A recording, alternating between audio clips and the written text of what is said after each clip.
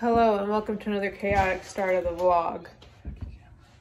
We have the fridge. It's finally arrived.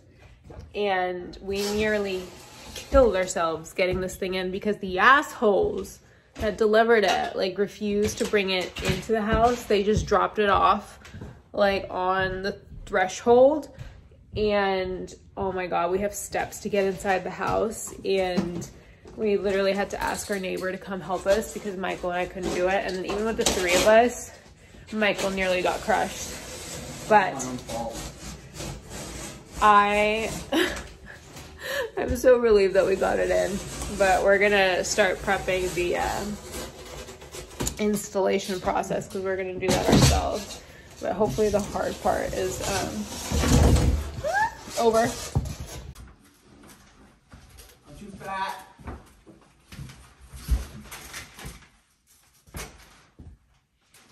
Are you gonna be able to get out? That's a good question. I know I do. Not all the time. All the time. No. Yeah.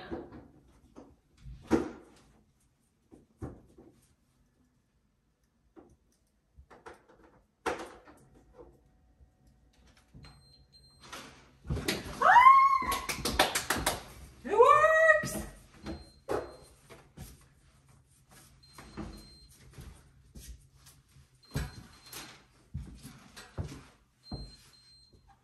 Okay.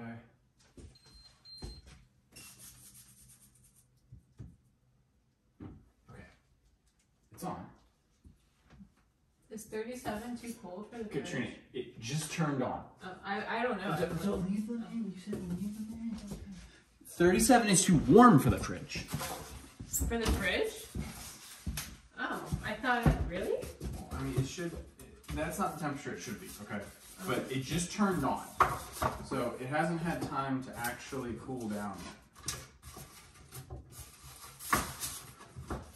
We're not going to leave it plugged in.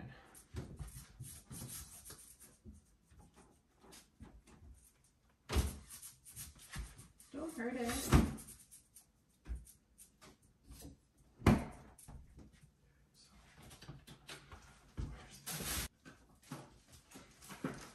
Look at these instructions. Like, this is made.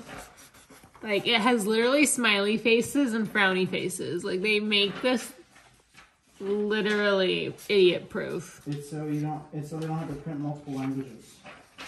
Oh, really? Yeah. That's smart.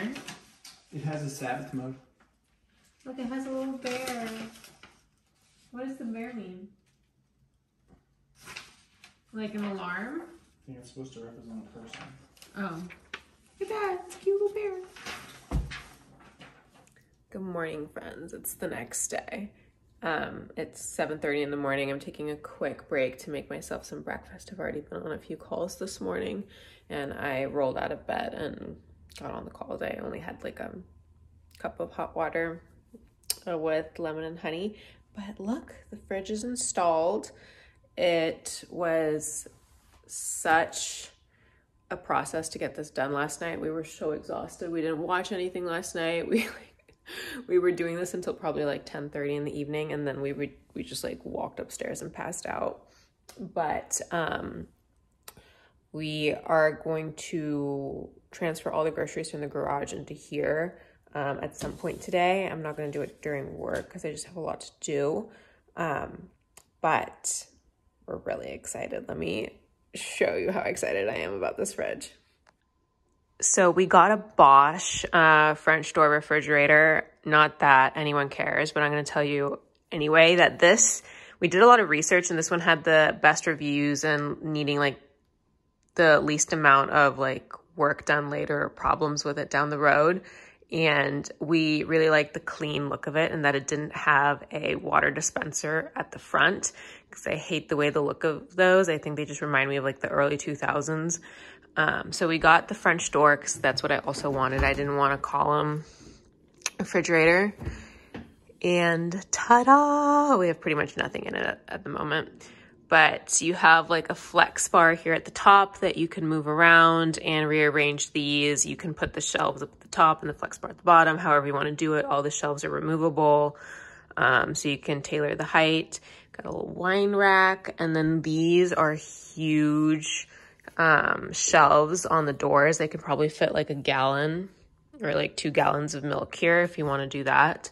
Um, so these are all huge. And then you have your little deli drawer, which I'm going to fill up. And then my favorite part about this is the two crispers. And um, I was very particular about finding the best fridge with the best crispers. And this one by far had the best technology. And we have one set to fruit and one to vegetables. And they have like really, really good humidity control and air freshener systems. And it also came with this little um, ethylene absorber. So we're going to put that in. So from the reviews, these two crisper drawers keep fruit fresh really, really well in comparison to a lot of other fridges. Um, it was the most comparable to a Sub-Zero within our budget um, because we can't afford a Sub-Zero fridge, but maybe one day. And then here at the bottom, we have a ice tray with a little scoop, which removes. You have storage here, storage in the bottom here, and then you also have this little drawer of storage here. So it's a fairly small freezer in terms of like other fridges, but we also have the freezer in the garage, so we weren't too concerned about it. I was more concerned about how it looked and how good of a quality the freezer is, which again, dual compressor freezer, so most comparable to a Sub-Zero and all of that jazz. So that's what we got, but I can't wait to fill it up with groceries. Good morning, friends. Happy Saturday. I'm back on my shit with my homemade, essentially vanilla cream cold cold brew with the Chobani creamer. What's new? But we, I've got my painting shirt on. But we're about to start on our next home improvement venture, which Michael's already started on, and my part's coming up soon. So, let me show you. All right, so here's the dining room before. We've got kind of the gray that's all over the house. We've got this farmer, farmhouse style pendant, which is gonna go away. Um, that matches the one that is outside, which I think is so hilarious that they put the same one. I love it outside. Don't get me wrong. It matches kind of the vibe of the house. Hate it on the inside. Then we've got this like poopy brown ceiling going on and the gray. And then we've got this weird ass crown molding that matches what we had in our bedroom at that weird height. So Michael's been scoring um, the uh, on the molding and then using a crown, what is that, crown removal tool? It's a trim removal tool. Trim removal tool. crown molding. That's crown molding. Yeah, so that's crown molding, this is just trim. So we're ripping that trim off and then I'm gonna do the same thing where I go through and remove all of these caulking edges um, once we rip everything off, and I'm gonna help him rip everything off here in a second. And we are gonna spackle everything, which again, I do spackle, sand, remove the caulk, and then we're gonna do matching trim. I know, I know what you're thinking. We're ripping off trim to put more trim up, but I'm gonna do it the right way. So we're gonna do these matching kind of boxes up at the top. So we'll have one, two, three on this wall, one, two, three, and then go around the room. And then we're gonna paint this room like a dark steely blue. So it's like a nice statement color because I think that will be fun. And that is it. And that's the plan for today. We also have to go back to Home Depot and pick up Michael's Husky toolbox that he got for Christmas. That's a great view of Michael's ass. Let me change the viewpoint. And um, we're gonna maybe look at some trim to like match that best we can.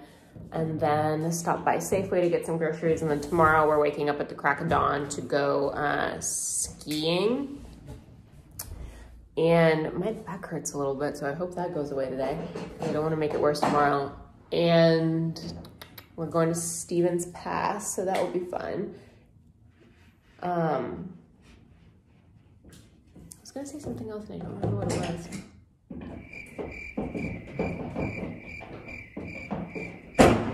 I couldn't tell you. It'll come to me later. Okay, so all the trim is gone. So I'm starting to do my job, which is the scraping. And I'm gonna show you a quick little tip that I figured out once I scraped my whole bedroom because I was doing it wrong. Well, not wrong, but there's an easier way to do it. Let me show you. Okay, so you'll need one of these little scraper tools. This is from Anvil. Um, and make sure you have a sharp blade. You don't want to be doing this with a dull blade because it'll make your life that much harder. So what you want to do is when you're scraping this caulk off, don't go like this. Go at kind of like an angle, like this, and it will lift off so much easier. If you get dry patches like this of the drywall coming off, don't worry about it because you want it to be flat more than you care about ripping off some of the drywall. And then once you're done, then go over it like this sideways and see how nothing is coming up. That means it's an even surface. And if something does come up, like right there, see I missed a little bit, you'll be able to get it super smooth. And then you wanna do that for the top and the bottom. And then I always go over it one more time just to make sure it's smooth. And then when you spackle it, I always have this on hand in case I notice like a little rough spot because any kind of texture you have like a ridge, if you try to spackle over it, it'll create an uneven texture when you paint over it, and that will be more visible than patching up a spot like this. It's fine. Good morning! Michael, say hi. Still half asleep.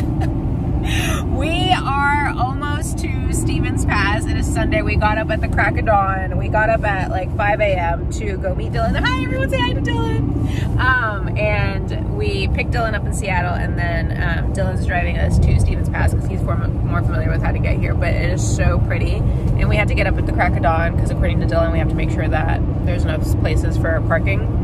So we're almost there. It's gonna be my first time skiing, so hopefully I don't eat snow like I ate river when I was wakeboarding for the first time because that was a traumatic experience. I broke a nail.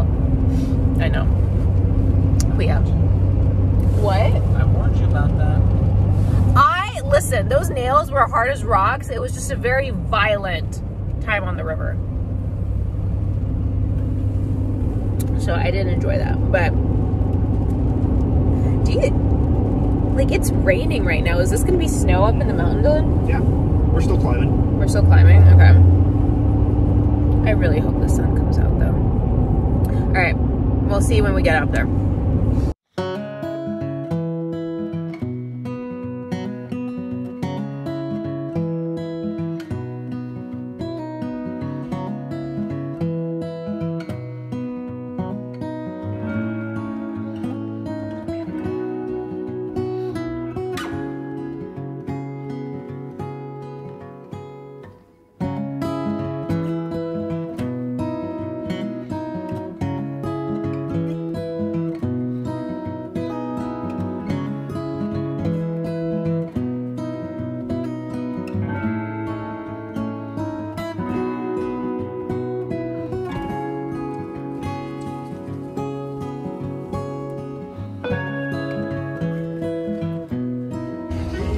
All right, latest update.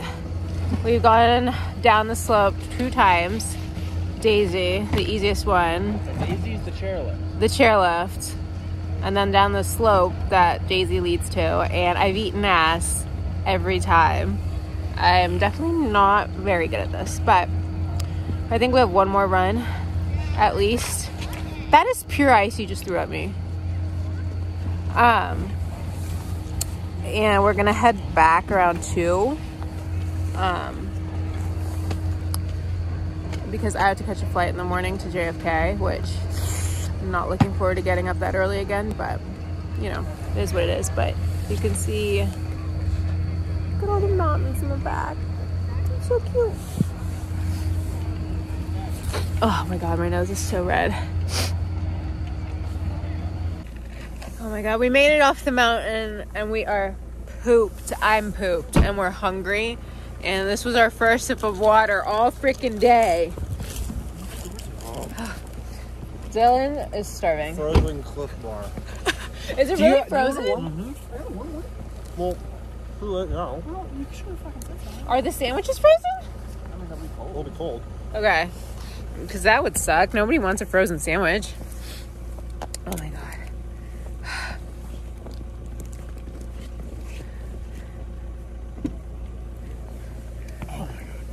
Wait, wait, wait. Here's the best part. Anybody who gets me will get this. Hold on. Use this.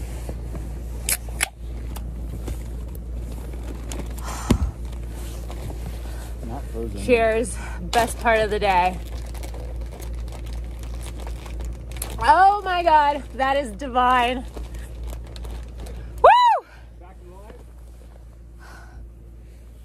Listen.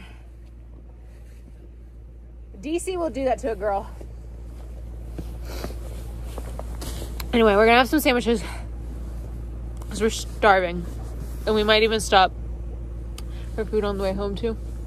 By the way, buddy, I hate to tell you, but it's really hard to keep still. Dylan, Yeah. sandwich. Please. Well, I'll have it when I'm driving. Okay. I'll have mine in the car. Okay, let's put this whole Yeti in the car and then we'll ha- eat inside the car so we're not freezing. But oh my god, I'm warm. I ate shit all day. But hopefully next time it'll be a little better. But we started on the green and then I we went on the blue and then I ate shit on the blue. So we progressed from eating shit on the green to eating shit on the blue. So progress, maybe. I don't know. All right, see you later.